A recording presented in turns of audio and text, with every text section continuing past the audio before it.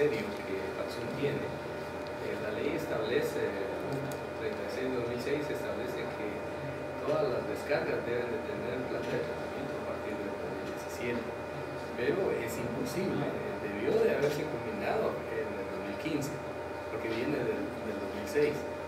No fue posible hace una extensión de dos años. Si no lo hicieron en tantos años, mucho menos lo vamos a poder hacer en dos años. A través de, de acuerdos,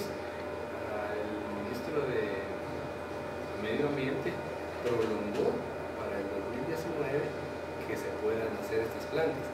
El problema, el problema está de que eh, la inversión que esto conlleva, automáticamente, si nosotros venimos y nos dedicamos a hacer el presupuesto de un año, nosotros lo estaríamos invirtiendo solo en lo que son plantas de tratamiento.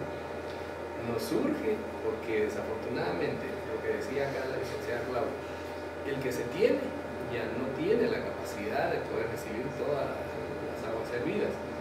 Tenemos serios problemas.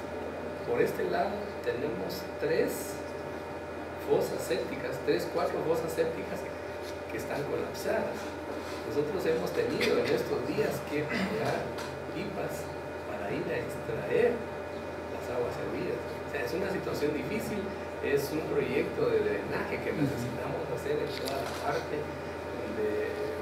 norte del municipio, que son inversiones enormes Pero es una cuestión urgente y es algo que no podemos por ley venir y decir, bueno, no lo hagamos, sino es la presión que se tiene. Y creo que con el apoyo, con el acompañamiento, estamos seguros de que sí lograríamos alcanzar eh, los grandes objetivos y no solo los objetivos, sino la obligación que tenemos como municipal. O sea, las aguas sucias de la ciudad de Corazón vierten a una cosa así. Así es. Donde se almacenan y no tienen ningún tratamiento. Absolutamente. Se, Se absorben, se colapsa sí, sí, y hay que, hay que vaciarla. Claro, claro. claro.